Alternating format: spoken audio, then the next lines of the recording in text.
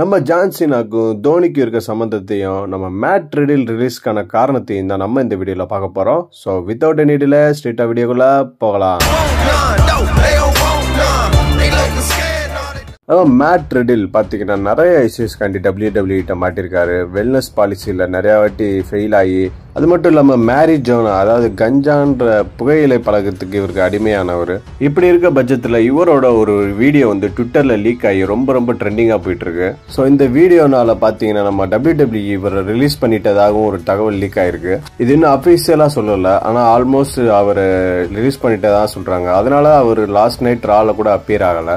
வந்து பார்த்தீங்கன்னா நம்ம ஜான் சீனாவோட இன்ஸ்டாகிராம் போஸ்ட் தான் பார்க்க போகிறோம் ஸோ இன்ஸ்டாகிராம் அவரோட ஒவ்வொரு போஸ்ட்டுக்கும் காசு கொடுக்குறனால அவர் டெய்லியுமே ஏதாவது ஒரு போஸ்ட் போட்டுக்கிட்டே தான் இருப்பார். அவரோட நிறைய போஸ்ட்ல பார்த்தீங்கன்னா ஸ்டோன் கோல்ட ட்ரால் பண்ணுற மாதிரி தான் போட்டிருப்பாரு. இதை பற்றி அவர்கிட்ட கேட்டப்ப எனக்கு ரேண்டமாக என்னென்ன தோணுதோ அதை தான் நான் போடுவேன்.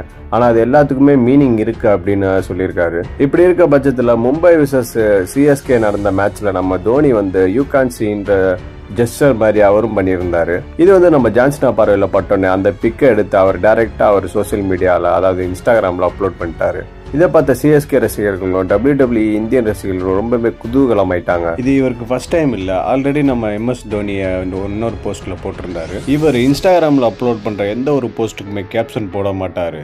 ஸோ நம்மளோட சேனலுக்கு டென் தௌசண்ட் சப்ஸ்கிரைபர் வந்திருக்காங்க. ரொம்ப ரொம்ப ரொம்ப ரொம்ப நன்றிங்க அவங்க எல்லாருக்குமே. ஸோ கூடிய சீக்கிரமாகவே உங்கள் மிஸ்டர் மிஸ்ட்ரியான நானும் ஆஜித் ப்ரோவும் லைவ் வரலான்னு பிளான் பண்ணியிருக்கோம். ஸோ லைவ்ல மீட் பண்ணுவோம்.